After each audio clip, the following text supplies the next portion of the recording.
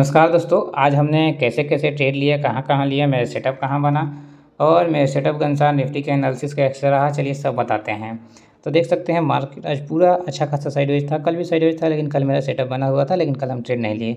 लेकिन आज से हम प्रॉपर मार्केट में अब रह मतलब रह रहे हैं, आज से आगे भी अब प्रॉपर मार्केट में हम रहेंगे। जब भी मेरा सेटअप बनेगा, तब भी हम ट्रेड लेंगे।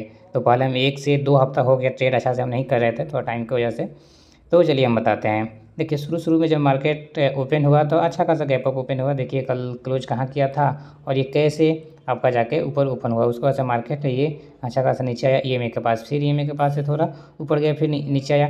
फिर उसके बाद से आप लोग यहाँ देख सकते हैं, केवल ई के पास ही ये मार्केट चलता रहा। फिर थोड़ा सा नीचे आया है ये वाला मार्केट, फिर उसके बाद से ई के पास गया, फिर जब ये ऊपर गया तो यहाँ हमको लगा कि मेरा सेटअप बनेगा लेकिन बना नहीं यहाँ से नीचे आया ग्रीन हमको यहाँ चाहिए था तब जाकर हम ऊपर के साइड में ट्रेड लेते। हैं तो ग्रीन बना नहीं उसके बाद से देखिए मार्केट यहीं रह, रह गया। पूरा का पूरा पूरा का पूरा साइडवेज हो गया। फिर मार्केट नीचे गिरा उसके बाद से पूरा का पूरा साइडवेज ही रह गया। तो आज मेरा एक भी सेटअप नहीं बना है। तो इसीलिए हम आज एक भी ट्रेड नहीं लिए हैं। आप लोग को विश्वास नहीं होगा कि ट्रेड लिए हैं कि नहीं। चलिए हम दिखा देते हैं।